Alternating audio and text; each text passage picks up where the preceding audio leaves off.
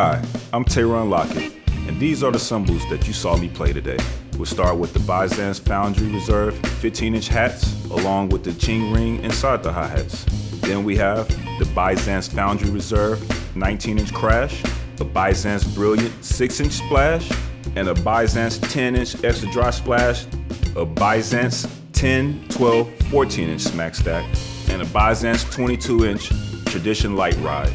I also use a stack consisting of a Classic Customs 12-inch trash stack turned upside down on the bottom and a Byzance 10-inch extra dry splash turned upside down on the top. And we're ending with the Byzance 18-inch dual trash crash.